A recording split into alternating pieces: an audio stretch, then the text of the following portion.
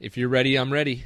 We're talking about my story first. So, grew up in Amarillo, Texas, small hold town. on, let me hold. Texas. Whoa, whoa, whoa, whoa, whoa, whoa, whoa! I gotta open the show, bro. You're opening the show. Let's do this. I thought you were already on the show. Nope, this is gonna make for a great intro. So here we go. Fellow auto detailers, welcome to the show that features interviews with today's most successful auto detailers. This is the Auto Detailing Podcast. Here's your host, Jimbo Balaam.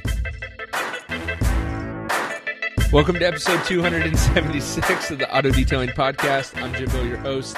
Today on the show we have T Nut or Travis McNutt of Texas Showshine Detailing in Dallas, Texas. Travis, welcome to the show. Thank you very much, Jimbo. I appreciate it. We jumped the gun a little bit, but you're good. I uh, could always edit that, and I will. But that'll actually make for a really funny intro. So Travis is has a really interesting story, um, and is using some really unconventional ways to actually get more work in a really short amount of time. So I'm excited, Travis, uh, that we uh, held that before uh, held that to us recording. But um, for people that don't know you, can you give us a little bit of background on you yourself, where where you're from, where you're at, what you're doing? Yes, sir. I grew up in Amarillo, Texas, small West Texas town. It's actually rated the windiest city in America. If you look it up, wind's always blowing. Um, was there till I was 22 as far as detailing, kind of always did that on the side, even when I was 14, 15 years old for friends and family, neighbors, stuff like that. Obviously, never made a profit, but it's always been in my back pocket, something that I could do, uh, I guess, with an entrepreneurial mindset to chase a little extra income. But left Amarillo at 22, moved out to California for six months, and actually through our conversation learned went to the same school as your wife, Murrieta Bible College. Yep. Yep. What year I were you there, by the way? Uh, I think it was like 2003 or no, had to have been later than that. Maybe 2006. I'd have to go back and do the math. Okay. But anyway, went there, found out that the same school had a campus in Maui, so moved out to Maui, lived on the island for a year. Uh, loved that. Moved to Scottsdale, Arizona after that to go ahead and finish out my business degree and started working for a company called Natural Partners. They're a holistic distribution and wholesale operation for natural medicine, uh, usually direct to consumer and also uh, to naturopathic doctors, MDs, all that kind of stuff. So I've always had a supply chain or supply chain logistics background, so that fit for me. Got a job there while I was finishing uh, my degree. Ended up staying with them for a while and worked up to the assistant manager of the distribution center. But I worked in receiving every position in the warehouse. I worked as a buyer, which is a pretty relevant position from a business standpoint, just understanding the ins and the outs of how business actually works. I say that's relevant because it helped kind of form my mentality for my own personal business today. But it's a great place to work, lots of culture, very similar to a Zappos Shoes or Google. They're doing tons of activities uh, to stimulate good, healthy relationships within the company, and that kind of trickled over into everything we did. It kind of shaped the mentality for that company. But even having a business degree, that's where I learned business. And like I said, with my background in supply chain and logistics, everything's process oriented, very efficient, driven, lean driven. You're always trying to maximize output for less money. And so all those concepts carry over into the detailing business for me. But uh, took a job as a regional operations manager for a company here in Dallas, and that's what brought me out here. That was two years ago. Uh, managed a really big process for them, which my takeaway and my benefit was, was extremely educational, experience wise, relationship wise, but it didn't work out and ended up leaving there about six months after I started. So we're looking at like August, September of 2015.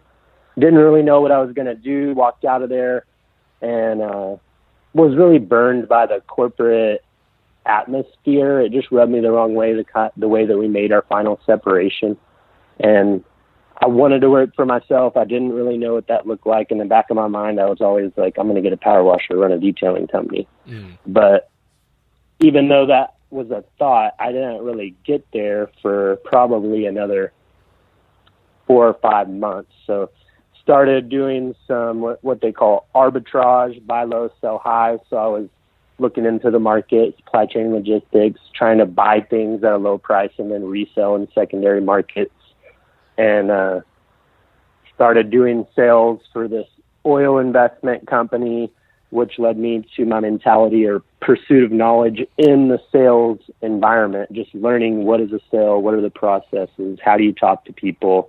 But it had me on the phones, making phone calls, learning how to sell. While I was doing that, I was working on my laptop because I was only on the phone, so I really could do two things at once, and I was kind of keeping an arbitrage thing alive while I was making phone calls and and then it came a little bit later. That didn't work out. It's hard to sell forty thousand uh, oil investments in a bad market, but it taught me a tremendous amount about sales, and so I kind of highlighted on those things to reiterate the things that are really working for me today in my detail business. But started working with a guy uh, his name was Tony. He had actually detailed my car whenever I was working as a regional operations manager. He came by the the warehouse. He was a mobile setup guy. Detailed my car, and I had randomly become friends with him just because he played golf, and so we shared that. We would play golf, and I just said, "Hey, man, let me come detail cars uh, with you." for a day and just hang out. And really, I wanted to pitch him uh, an opportunity on my arbitrage business that I thought I had going. I guess all that being said, I ended up working with him for about nine months full time and uh, just doing whenever I started with him, he was doing $75 washes. 100% of his business was repeating referrals. To this day, he's still getting all of his business from the app next door, which I know yep. you brought up on a on a previous episode. But he gets all of his business from that. Does he advertise uh, created, on that, or just word of mouth? you can't advertise, okay. but you you can put in keyword searches detailing, and it'll t- bring you a feed of everything detail related for the last whatever amount of time. So you can go back in there and you can start hitting those people up. Uh, did you get a detail? Were you satisfied? This, that, and the other. Or, or you can refer your own company, you know, or most of the time, once you build within a neighborhood, the way I understand it, you're kind of in your neighborhood. So once you've built a name for yourself in a neighborhood, then it will evolve organically. And he stays busy, man. Whenever I was uh, with him, we were doing 20 to 25 cars a week at a hundred bucks a pop. And I mean, so 20, 25, 2000, 2500 a week. He was paying me 30% of everything to a hundred dollar detail. So we would do four hundred dollar details a day. I was making 120 bucks, not bad money, uh, especially considering the low stress work environment. I was doing something I enjoyed. I was working with a guy that was pleasurable to be around, and so everything was conducive for me to sit there and just learn. Um, and uh, I think I was saying he said uh, he paid me fifty percent of everything over a hundred. So okay. if we could get a higher job, then I'd make a little bit more money. This, that, and the other. What did the when you say seventy five dollar wash or seventy five dollar detail? What did that look like? I mean, that was a full detail um, by definition. We would do full vacuum, pull the mats, move the seats around, clean any stains, clean all the vinyl, rubber, wow. plastic surfaces. Um, a significant you know, cleanup for seventy five bucks. Dial it in, yeah, absolutely, and and usually a a full bucket wash with power washer, hand dry, and then we would do like a spray wax. But that was seventy five bucks right, right, there. That's what he was doing before I started with him. Then we went to a hundred, and I think he's actually up to one twenty. He does like more of a flat rate, which uh, I don't necessarily, I don't absolutely don't agree with, but. Right. Um, it does well for him and he's successful. And it, I guess my idea after working with him, uh, spinning off your podcast today, I thought I needed a truck, trailer, Mm. water tank, generator, power washer, and all this stuff before I could start my own detail company. Originally, he had said, "Let's grow this thing. You'll, I'll buy you a truck and a trailer. We'll have two crews, 90 days." And like I said, nine months later, I was still riding around with him, which was fine. But it was just not what I wanted to do. I have a much bigger mentality or a bigger picture of everything that can happen, and Mhm. so I was not, I was not happy there. So he's happy there. I wanted to do more. Um, and so eventually I had to make my separation. And so I started, actually, the way it went down, he had knee surgery. And uh, I had bought all my own equipment. He knew this. He knew I was moving in this direction. And I said, Well, I'm going to go to Amarillo, my hometown, and I've got some details to do out there. And I know you're going to be down for several weeks with your knee surgery. Uh, so I'll just touch base with you soon. And basically, from there, for me, uh, he had taken on his son as an employee, and so it really worked out for him to where there was not a, it wasn't a bad separation. And I went on and pursued and, and created Texas Show Shine, which is my business today. And uh, I guess that was around, I'm thinking back, August of last year. So August of 2016 is whenever I started doing it all on my own. So I didn't necessarily have a customer base at that point, and I have integrity, so I didn't pursue any of the customers that I had met through Mm. Tony. I think I think that's good business sense. That wouldn't have Yeah. said well for me or who I am. So his business is his business, and I was going to create my own. Um, you want to throw anything else in before I just So- keep rambling on? No, no, no. It's good. It's good. And I, what I like about laying out and kind of why I always ask people to talk about their kind of entry into detailing is because it helps people that are listening relate. You know, instead of being like, "Oh, I got a successful business now and uh, everything's good and I got a steady client base," it's like awesome, but like, what did that look like to get there? You know, so uh, one thing that if people listen to the the episode that I released on the day that we're recording, which is Friday, March 17th, um, I talked about like the best mobile detailing setup. But you said when you were rolling around with Tony. So I know the answer to this question, but if people haven't listened to that episode, I kind of want to uh, clarify. You said when you were rolling around with Tony, one of the things that um, you thought was that you needed to have a truck and a trailer and this whole setup. Um, and then then you mentioned that you were getting you bought your own equipment. So did you end up buying a truck and a trailer to start, or what did your first mobile rig look like, or what does your do you still have that set up, and what does that look like? So absolutely. Um, what I did, my granddad is getting of age and he's not driving anymore, and he had this '93 Ford pickup that he had bought, and I actually learned to drive in it. That's just a little two cents extra, but he wanted to get rid of it, so I bought his truck from him for sixteen hundred bucks. It had 118,000 miles on a '93 in pristine condition, but Wow. got that. Bought a water tank off of Offer Up hmm or Five Mile, which I'll mention later. But for guys out there who are looking to source equipment of any kind, Offer Up, Five Mile, those are great resources to buy things at a discount. Anyway, got my tank. Because you kind of had that Uh, and then- arbitrage mindset, right? Yeah. yeah, I had already been buying and selling Mhm. tons of stuff in these markets already, so I was really familiar with how to source uh, materials and products and stuff like that at a discount. I never want to pay full price, Right. I will to do things like buy your affiliate linked products so you get a kickback At shopwithjimbo.com. at shopwithjimbo.com. Appreciate that. and uh, so got the truck, got the tank.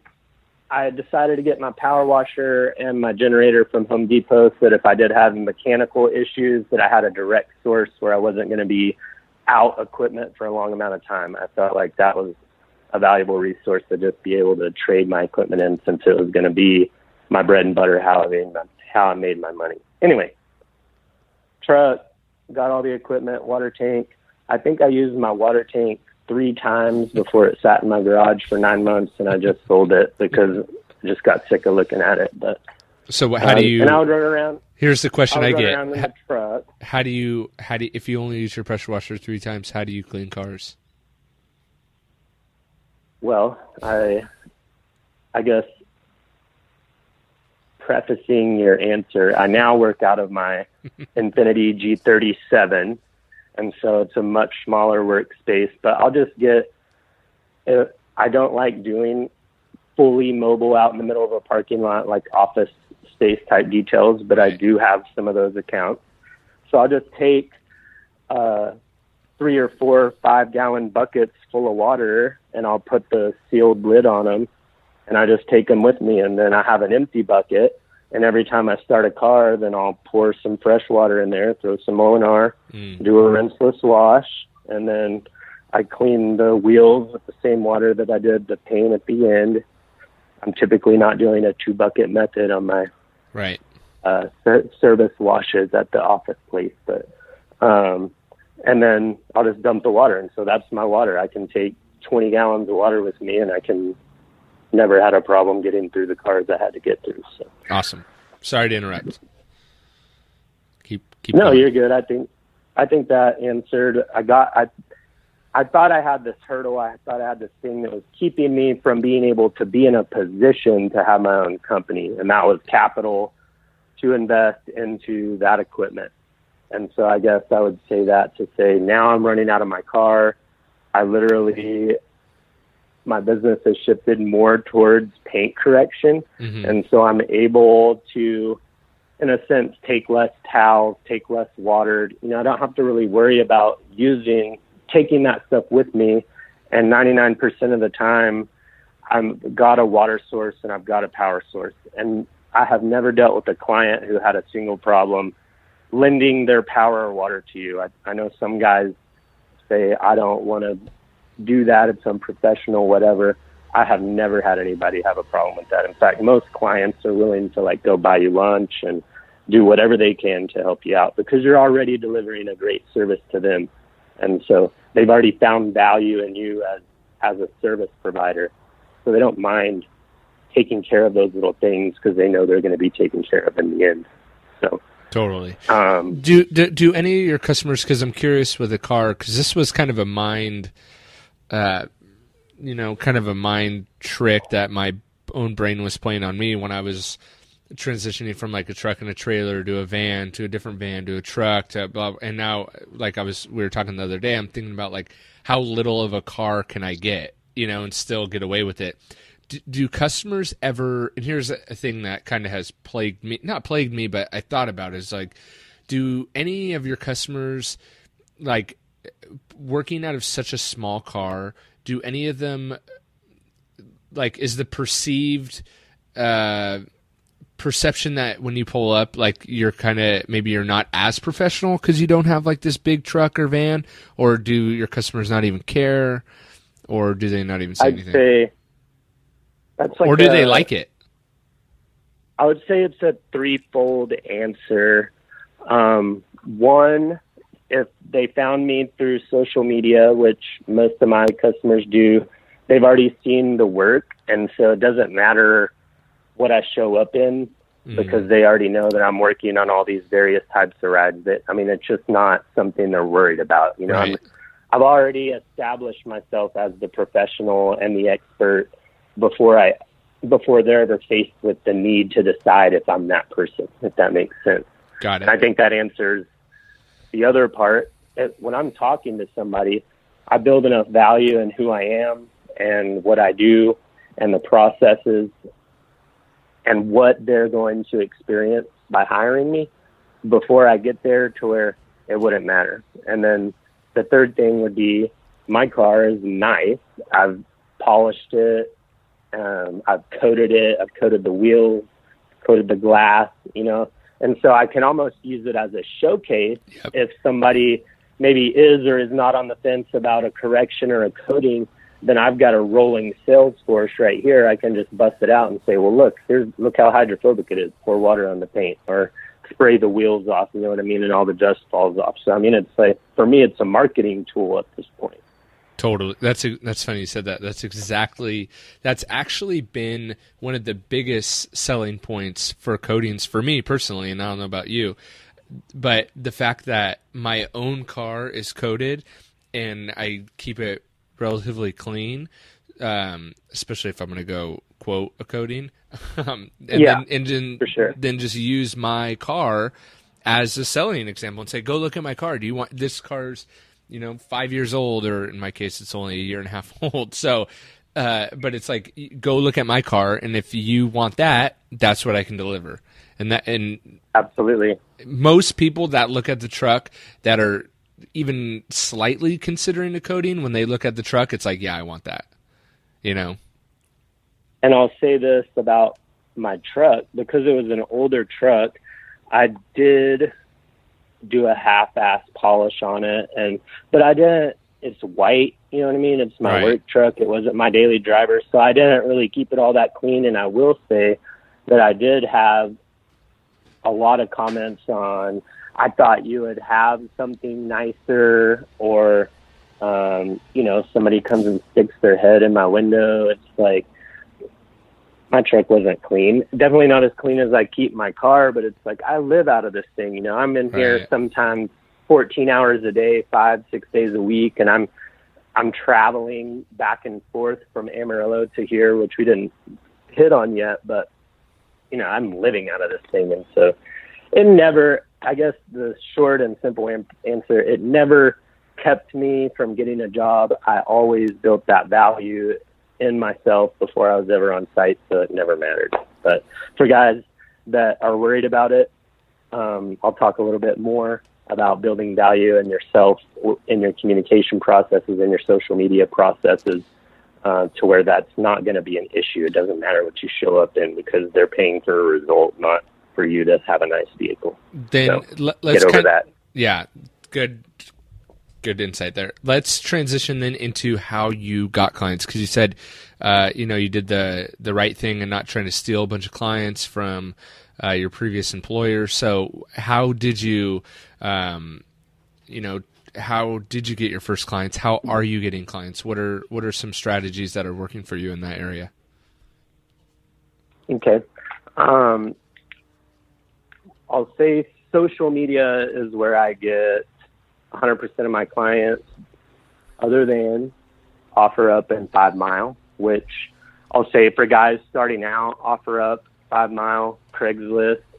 You know, you got to get out there and you got to post and you got to write some content and you got to make some videos and you got to take some pictures and you can keep those ads current or you can post them as frequently as you need to.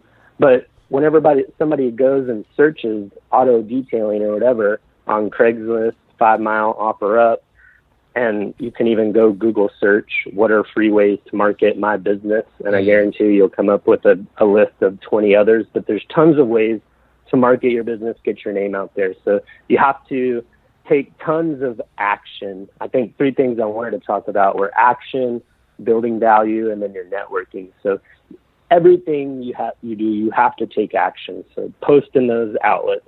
Um, social media, I'm constantly active in social media. So I'm posting on Instagram at least twice a day.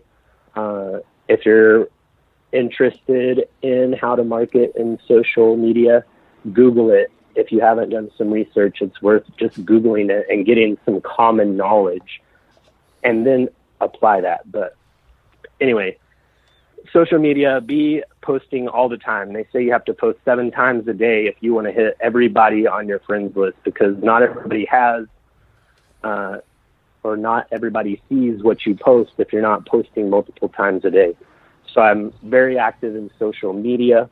Um, whenever people come up on my friends list and it says friends you may know, I'll be straight up honest and say if it looks like just a quick glimpse, if it looks like somebody that might have a nice car, if they have a car on their profile video, if it looks like a, a guy in a, a nice business get up or whatever it may be, I add friends. So I'm constantly adding people, probably uh, a hundred people a month. And I'm doing that in two different ways. One professionally and one retail. So I'm pursuing to grow my um, my reach. I'm mm-hmm. looking to grow my reach with potential customers, and then I'm also adding a lot of detailers and a lot of other professionals in our industry, and a lot of the guys you see on all the mainstream YouTube videos and stuff. All those guys will accept your request, and to my experience, will most likely reply if you send them a message or whatever. So, growing your professional network is going to help you a ton. You're going to see posts from other people, so you're going to learn about new products.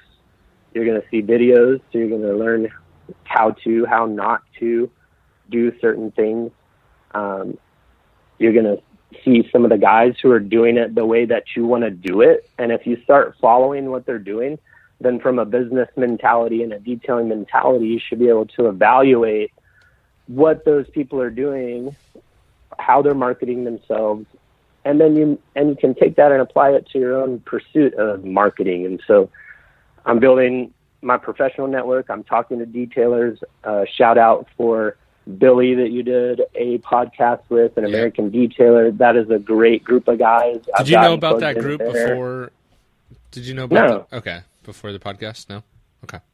And so, and then that led just my mentality. That led me to think, well, I didn't even know about these groups. This is a great group. I love it. Mm. What other groups are out there? So I don't know. I haven't pursued it. I've talked with one of my other mentors, and he's in one called. Uh, one called Detailing for Dummies, which I haven't looked up, and then some other one uh, about coatings, Realms of Coding, which I think mm-hmm. is a private group. So I haven't tried to break in there, but um, so they have these Facebook groups. So you're gonna absolve or take in a tremendous amount of knowledge, and those are resources for you. Uh, building a business, all these guys that I've come across are very, very helpful and willing to to give you some of their time and you have to look at it as their time is very valuable. So don't ask them like stupid questions that you can get a simple Google search return for. But if you have some kind of complicated deal, you know, you're working on a car and you've worked through three different pad types on two different machines and you've used four different polishes and you can't get it, have some guys that you can hit up on the fly and say, hey, look, this is where I'm at. What would you do? And so having those resources in your back pocket across every area of your business, whether it be sourcing your materials, whether it be finding clients. You know, you always have those clients that are the outlying clients that you can kind of call on if you need to do a job or, or this, that, and the other. But building those networks uh, is going to be tremendous for your personal success and success and growth in your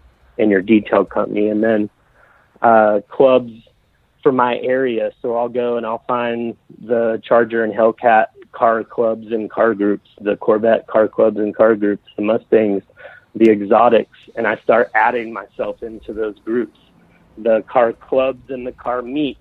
So every, I mean, you can so, search your local market for car clubs and car meets.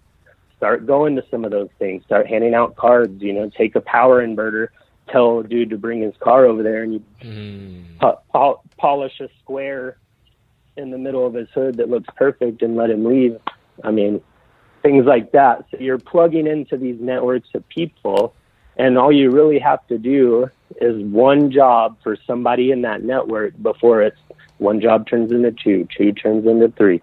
And and if nothing else, now that I've done a couple cars for some of those guys in the groups, I don't even have to go back and and catch uh, the request for somebody performing what I do.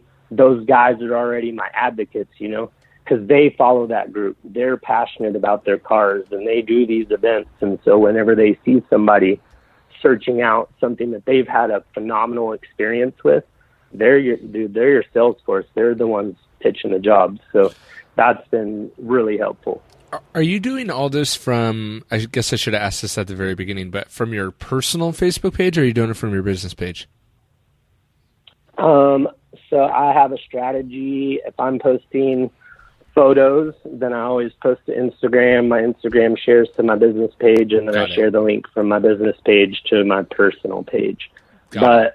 I'm I usually am building my network on my personal page, but I link everything I do back to my business resources whenever I'm on Facebook. Got and it. a quick uh, a quick plug there would be whenever you're returning uh, communication text, whether it's uh, inbound or outbound text, create or send a link to your Facebook, your Instagram, your email.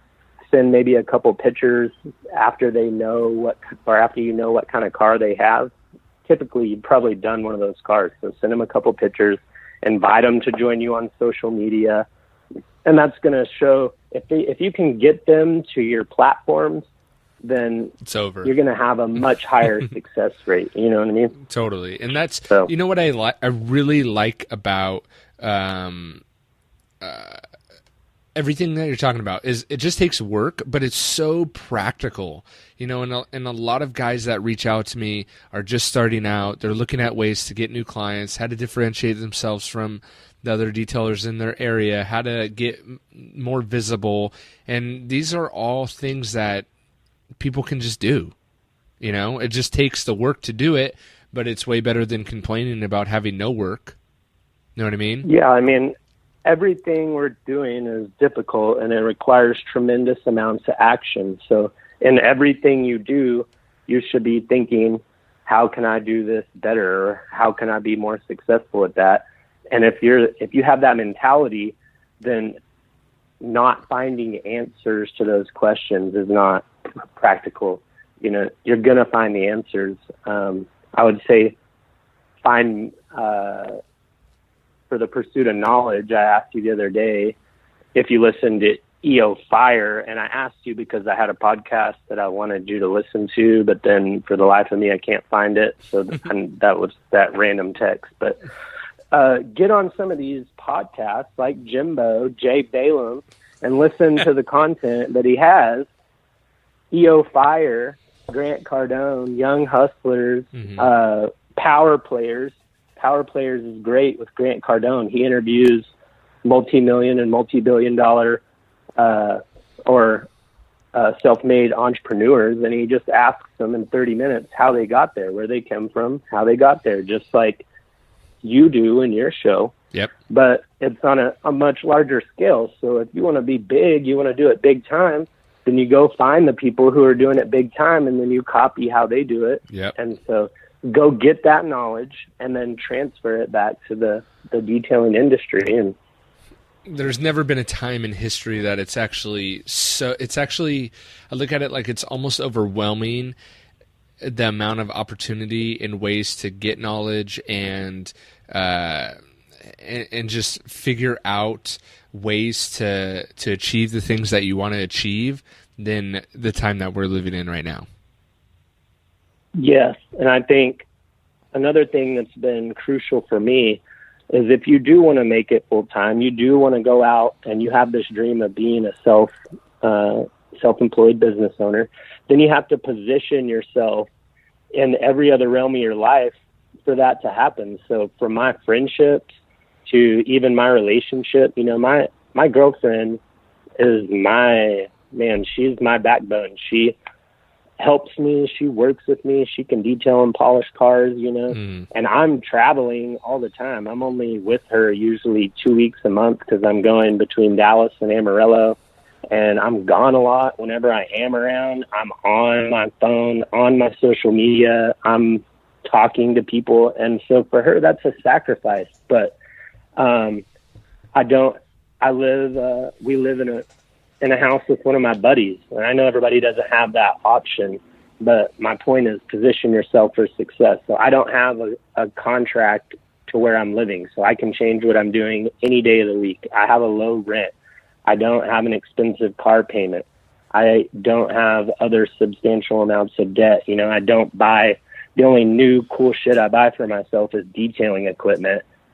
And everybody that knows me knows if they want to get me something, they can get me something detail related, and I'm totally stoked on it. But I just, in every area of my life, from my time to my relationships to my financial obligations, I position myself to be in success Mm. for a business owner because it's, I knew it was going to be tough. I knew it was going to be tight. And I went through months and months of being hungry and bootstrapping and being behind on bills, but getting out there and making the hustle work and getting caught back up, you know. But you have to position yourself for success if you want to make that transition. Hundred percent, and and that's again that's why I like the the topics that you brought about and the strategies that you just talked about because if you just put in the work, it's all doable, and and you can see. Yeah. the the best thing about the detailing industry is that you can you can almost see instant. Maybe not. I guess everyone measures success differently, but you could see so not instant success, but you can see instant results. Like you talked about, posting on Craigslist is going to get you calls almost instantly. At least calls. Yes. Now it's up to yeah. the person to be able to work on their selling skills and their selling ability to be able to land those calls, right, and to work their way yeah. up in the the price range. But at least it'll get you almost instant calls. You know, so that's what's yeah. that at least, and that'll keep you motivated, hopefully, to keep going and keep pursuing. Uh, the pursuit of knowledge and all that that you talked about as well. So you mentioned you're traveling back and oh, go ahead. Sorry. I was going to say, and when you're talking to those people, you're inviting them to your social media and exactly. you're getting them connected with you. So even they're you're going to be in their face for the rest of their life, you know, until they delete you as a friend. It's like everybody that you have on your friends list sees these posts, so it's going to be burned into their brain. Auto detailing. I know the guy to go to because he's blowing my Facebook up with these daggum detailing posts. But right. always get pe- in people into your network but sorry, where were you going next? I was just uh, going to say you talked about you you're traveling between two locations. What's the purpose behind that, and what do you have up your sleeve for that? So I, like I said in the beginning, left to Amarillo. That's my hometown. I have a huge network of people there. My fa- it's a town of two hundred thousand, and my family is in business, law enforcement, um, and it's the Bible Belt so churches. My granddad was a pastor, so my network there is huge, which is crucial. I talked about building your network. So I have all this business there. So I've been traveling back and forth from Dallas to Amarillo because I guess still today and even initially, I wouldn't be probably making it without that business. And mm. so I'm traveling back and forth. And at this point, I've had I'm trying to decide if I want to move back to Amarillo and open a shop. Uh, we talked about the other day moving back to Amarillo equals failure to me because everybody I've ever known that leaves there goes back, and so I attribute those two things together. But we talked about how what I'd like to do is open a shop there, train some detailers, train a manager, and walk away from it as something that's residual, scalable income for me and be able to go to Scottsdale where I lived, and I'd love to open a shop there. Uh, that's what I'm. That's where I want to live. I love the weather, and then like you, I also see this in a much bigger light in the fact that I can be a professional detailer and have an online business that's successful as well, mm-hmm. providing knowledge to other people and and detailers. And so I, I see things in the same way that you do in that aspect, but so move to Amarillo, stay here. Um, and another thing that we almost rolled on to at the beginning of the show, you said, so by building your network of detailers, are you making money from that? And the answer would be yes. I linked up with this dude, Ryan Harper, Harper's Auto Grooming, and uh, just followed him. You know, we were just buds on social media. Um, we were in some of the same car groups, like the Corvette group, mm-hmm. and uh, we would both get recommended for these jobs. And it turned out he bought a motorcycle two weeks ago, and like a week later, somebody hit him on it. Uh. He crashed, fractured his collarbone in four places, and uh, you know he has no health insurance. He can't he can't hold a polisher. So now his successful business is uh, is in that light where none of us would ever want to be. And so I reached out to him, just said, Hey, Ryan, I know you had an accident, man. I just want you to know that as a detailer or a buddy, if you need some help, I got you. And so mm. ended up talking with him, and now I'm doing uh, just coating jobs. So he's got a bunch of coating work, And so I'm doing coating jobs. Yesterday, I went and did a brand new uh, Grand Sport Corvette that he had booked. And so it's a way for uh, me to make an, a, a substantial amount of money. I charge him a hundred bucks an hour for me to be on site, whatever that looks like, whatever it looks like. But he's got a helper that he pays much less, who is experienced, an apprentice. And so yesterday I took his apprentice and we went and did that coating, did a light polish, coated everything. It was about four and a half hours. I make 400 bucks. He makes enough, you know, he's sitting at home crashed, but he still is able to generate income. So that was how that kind of played into making money through that network of people that I You never know. Yep. never know, man. And I think for guys that are new and starting out, there's plenty of guys out there that are willing to help you out with knowledge, uh, with training. Um, if you find them in your local network and you reach out to them and you make yourself sound serious, like a professional, like I said, don't call them and ask them shit you can just get a simple Google search return for. But you know, if you're passionate about doing it, then reach out to those guys. And you know what? Don't just reach out to them once. Reach out to them two, three times. Go by the shop and say what's up. You know, I just mm-hmm. wanted to check out the shop. Show me, show me your process. You know, if you show that type of passion and that type of action, then somebody, it's not going to take long, is going to take you in and, and you're going to be able to use that person as a mentor, as a life coach, as a business coach, or even just a resource for knowledge to move forward with your own uh, business endeavors. So, Hundred percent. Was there anything else that you wanted to kind of touch on or talk about or gripe on or rant on?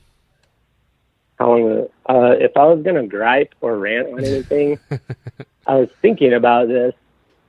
Literally nothing with the network or the, the industry. Like we all know the keyboard warriors, all those typical gripes, you know, everybody telling you, oh, you're ruining this or that, or don't do it that way. You know, I think the most effective way is to have a way, a effective way. That could mm-hmm. look a hundred different ways. You know what I mean? But as long as you have a process, you have a way, then it's going to give you the ability to walk into any situation and know how you're going to handle it start to finish. And you can explain that to your customers in the sales process. That was uh, the other thing I hate is extension cords. I freaking hate extension cords. Like I'm always doing corrections, moving, you know, light stands around and my polishers are plugged in. And so that's probably my least favorite part about everything I do is extension cords. I I think we'll eventually have the technology in machines and stuff that everything will either be that everything will be like battery powered.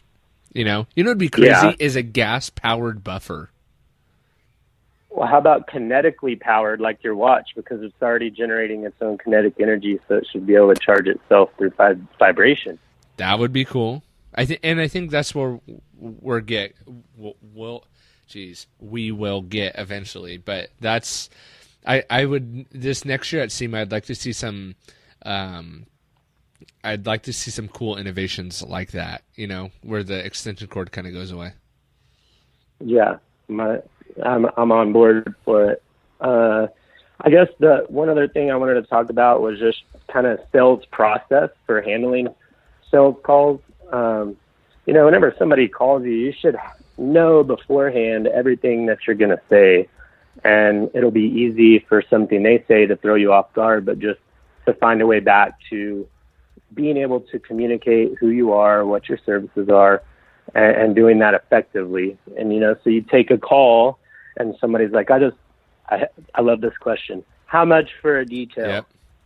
And so, you know, I try right there. I tell them, well, I provide a wide range of services from uh, wash and detailing maintenance packages all the way to three to five year protection plans that are ceramic coating and are really an investment into your vehicle. So let me ask you a few questions and I'll be able to tell you what I think will work for you.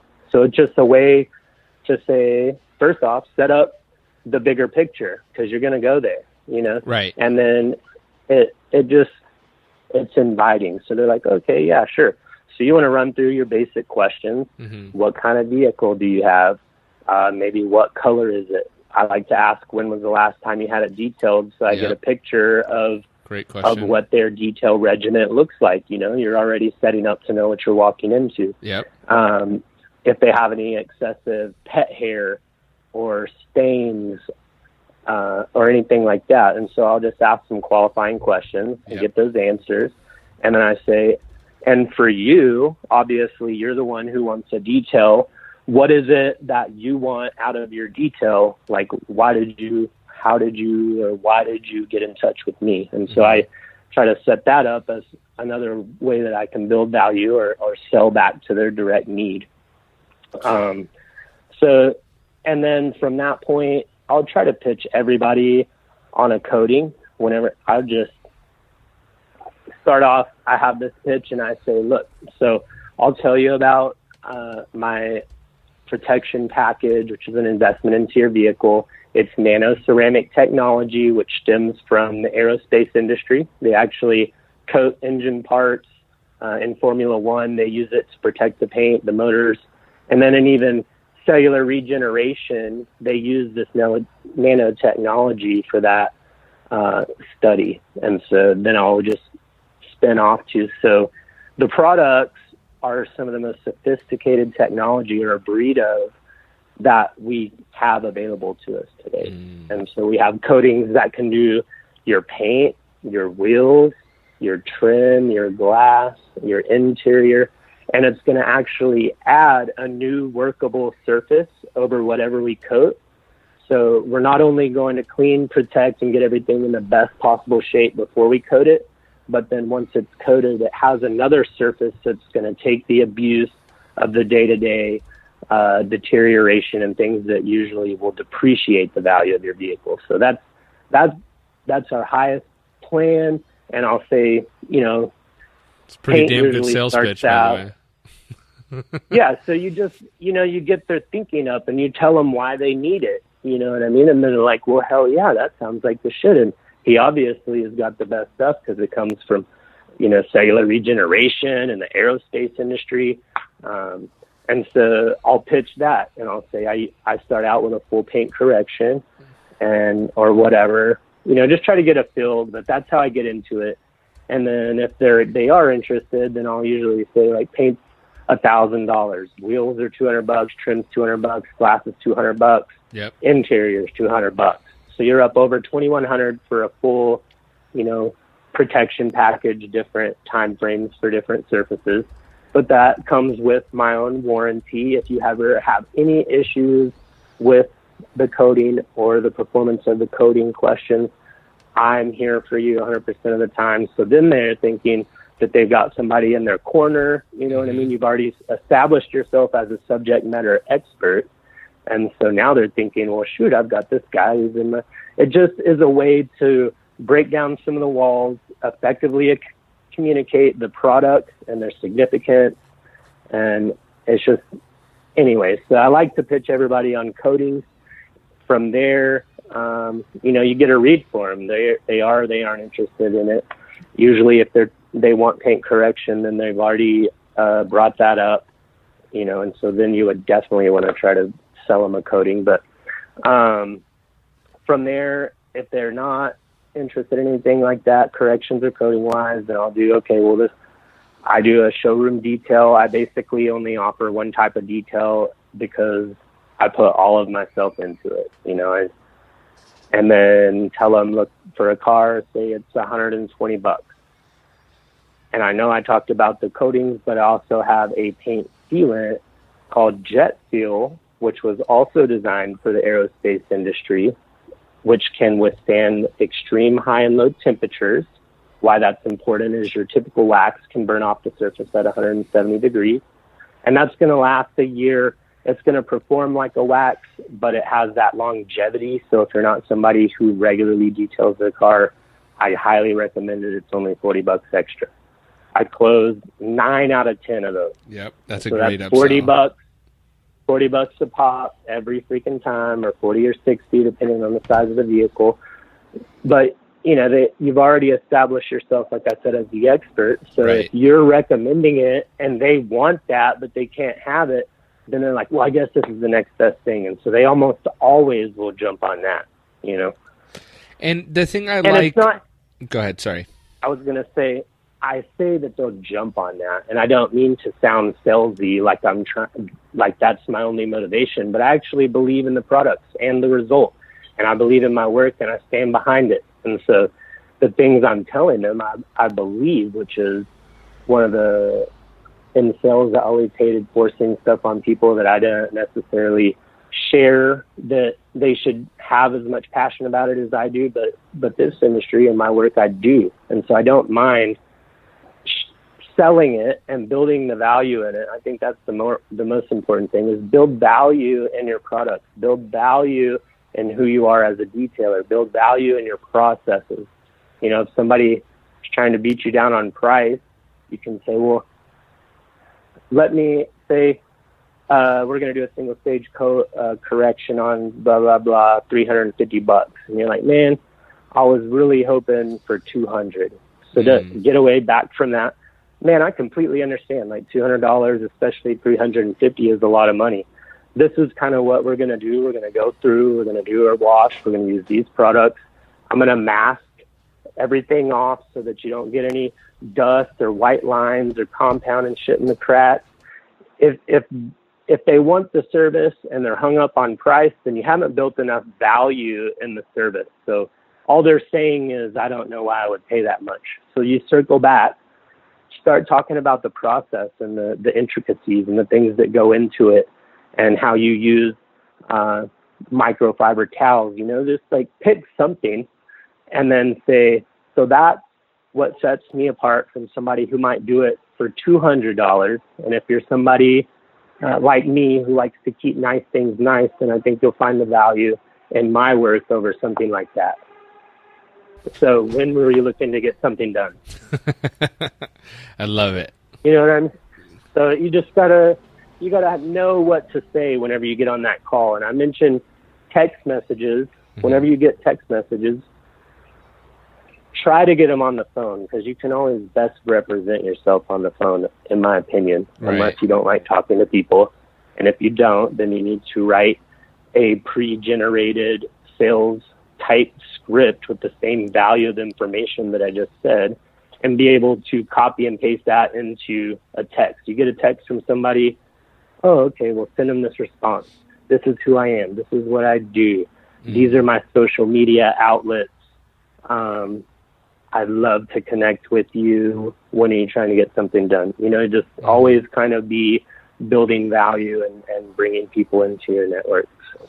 I love it. If people want to connect with you, Travis, how do they find you? If they want to kind of friend request you to spy on you to see what kind of the the things you're doing and model after that, how can people find you?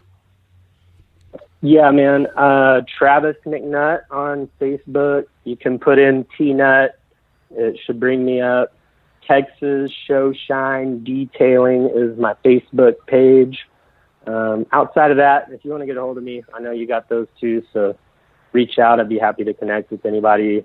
Uh, help do whatever I can. And uh, yeah, so that's me. Awesome, man. I appreciate you taking the time and sharing sharing the tips and tricks that you did. Really, really appreciate it. Hey man, it was my pleasure and honor. I appreciate you taking your time out to listen to what I had to share to you guys. Thanks for listening to another episode of the Auto Detailing Podcast. Head on over to autodetailingpodcast.com for full show notes and links of everything that we've talked about today. And don't forget to check out our resources page for a direct link to all the products talked about not only on today's episode, but that I use in my day to day detail business. They have direct links so you can purchase and get free shipping right from that page. That's autodetailingpodcast.com. We'll see you on the next episode.